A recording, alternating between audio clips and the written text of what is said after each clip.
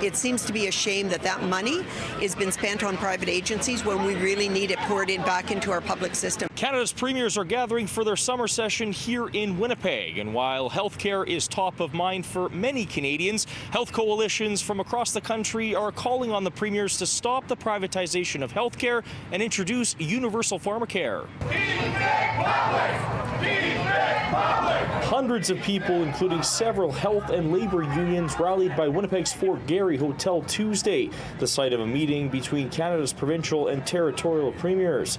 The demonstrators calling on the premiers to stop the privatization of healthcare in Canada. We need to make the healthcare jobs the best jobs in our community, and that will solve our crisis. Healthcare representatives met with the premiers Tuesday morning. The Canadian Federation of Nurses unions put forward several recommendations, including minimum nurse to patient ratios and setting limits on safe hours of continuous work.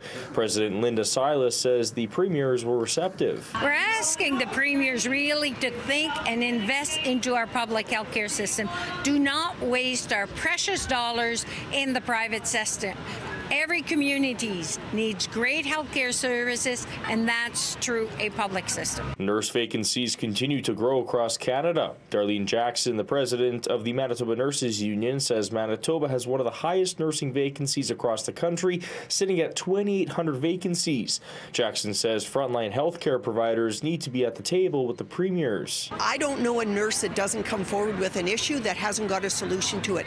And the solutions don't necessarily have to cause cost a huge amount of money, but they're solutions that can be put into action quickly and can actually provide some relief for staff and hopefully retain nurses in the system. Patients, in addition to healthcare workers, joined the rally today. Winnipegger Mark Olfert was forced to have his knee replacement surgery done in Ontario due to the ongoing surgical backlog. He says if he didn't leave the province, he would have been forced to wait another two and a half years for the surgery. We should have better care here at home. We shouldn't have to travel out of the province province to get care.